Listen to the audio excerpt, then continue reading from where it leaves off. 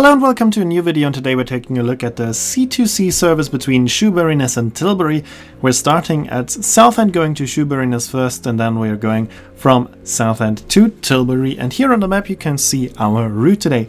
We started at the station of Southend with buying the tickets from the ticket machine and then we passed the ticket barrier and went through this underpass to the platform where we were waiting for our train and here we can see and hear our train arriving.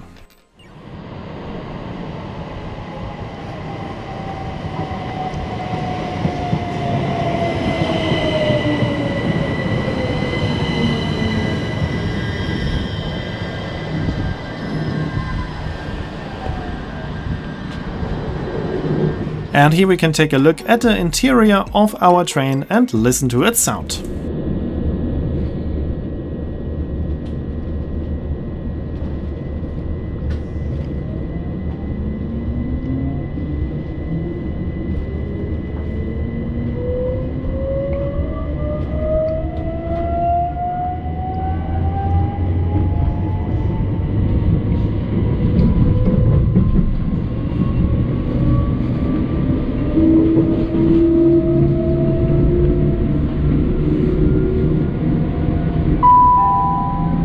Station is South Southend East.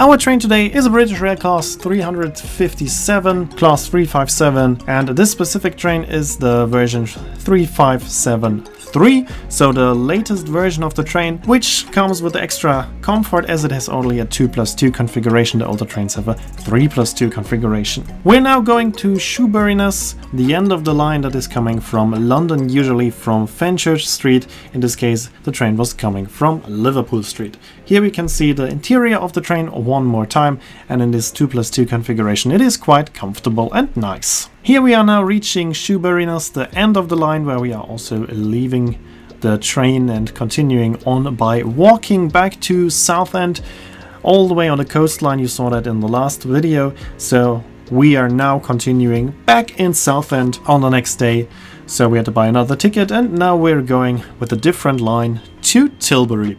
From Southend there are two lines to London. One is going directly via Basildon, that's the fast line, and then there's the slower line going via Tilbury. And between uh, Grays and at the station of Grays there's another connection on back to the line via Basildon. In my opinion the most scenic part of the railway line is shortly after Southend, behind the station of Chalkwell, because there we are going directly at the ocean, directly at the sea. It's a quite nice scenery. And then we're continuing on to Benfleet and Pitsea. Pitsea is the last station where both lines are stopping together. There those two lines are separating.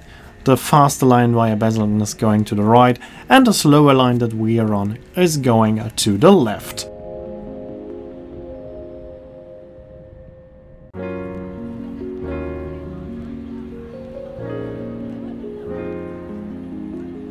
Here we are reaching the station of Benfleet and shortly after we have the station of Pitsea. Until Pitsea the train is quite empty because everybody that wants to go to London is taking the other line, the faster line, so there are just people on board who want to go to one of the intermediate stations. But starting at the next stop of Stanford Le Hope it gets crowded pretty quickly because now it's the only train heading in the direction of London. After Stanford Le Hope, there is another railway line joining us. It's coming from the London Gateway port, so it's just a freight line. Then we have a stop at East Tilbury, and after that, we are reaching the station of Tilbury Town, which is my final destination for today.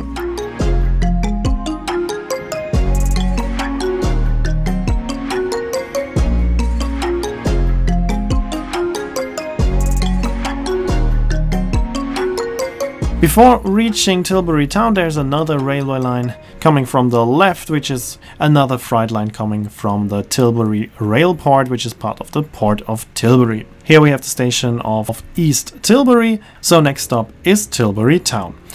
Probably you've heard of Tilbury as a cruise port, especially of cruises that are starting in the UK. A lot of those cruises are starting in Tilbury as it's the closest port to London.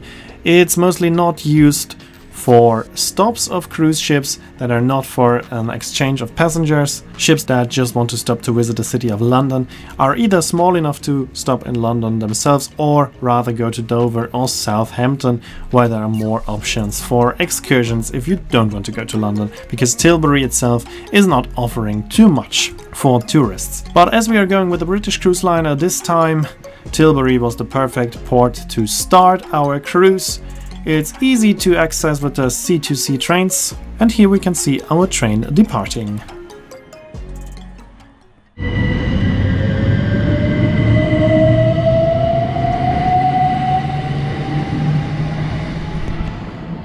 And as I said, now it's a short walk of about 20 minutes. Here in the background you can see the ship already, but I will tell you more about the ship and which ship it is in the next video.